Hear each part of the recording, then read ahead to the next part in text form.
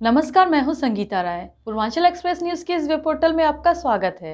आइए देखते हैं हमारे संवाददाता राम सकल यादव की यह विशेष रिपोर्ट।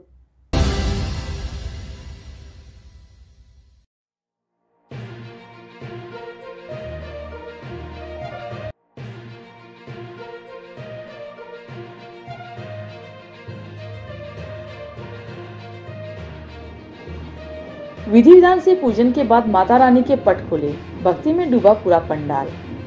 आजमगढ़ के मध्य स्थित पुरानी सब्ज़ी मंडी हॉल में दुर्गा जी पूजा समिति द्वारा आयोजित भव्य पूजन कार्यक्रम में विधि विधान से माता रानी की प्रतिमा के पट खोले गए। कार्यक्रम में सैकड़ों श्रद्धालु, महिलाएँ और पुरुष शामिल हुए। मुख्य यजमान गगन अग्रवाल और रश्मि अग्रवाल ने विधि विधान पूजन अर्चना किया। जैसे ही माता रानी के पट खुले, पंडाल माता रानी के जयकारों से गुज उठा। ऐसा प्रतीत हुआ मानो, स्वयं दुर्गा माता प्रकट हो गई हो।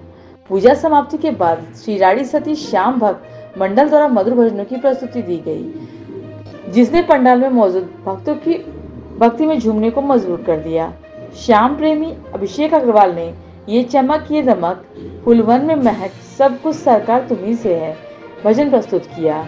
वहीं श्याम प्रेमी हिमांशु अग्रवाल ने, दुनिया चले न श्री राम के बिना, राम जी चले न हनुमान के बिना जैसे भजनों से पंडाल को भक्ति में रंग दिया। कार्यक्रम में मुख्य रूप से अनूप जी अग्रवाल, अतुल कुमार अग्रवाल, अमन अग्रवाल, पुरुषोत्तम अग्रवाल, बबलू पैतोष रुंगटा सौरभ डालमिया, दीपक डालमिया, दीपक खंडेलिया, संतोष गोलवार, योगेश शर्मा, अंशु गोयल, मोनू अग्रवाल, राकेश अग्रवाल, गप्पू, पवन सर्राफ कृष्णचंद्र अग्रवाल, ज्ञानचंद्र अग्रवाल, ओम अग्रवाल, अंकित अग्रवाल अंकित अग्रवाल,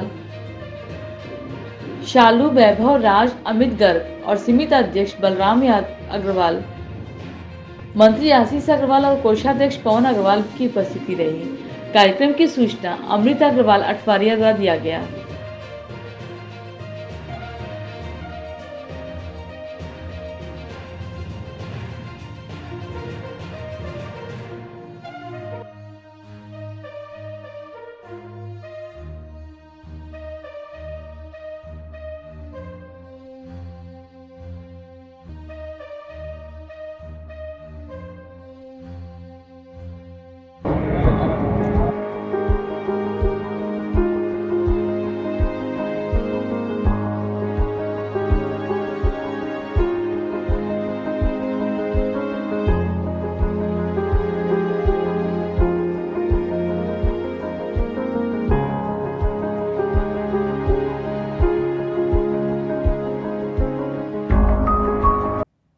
अगर आपको हमारी खबर पसंद आई हो तो हमारे चैनल को लाइक, सब्सक्राइब और शेयर ज़रूर करिए।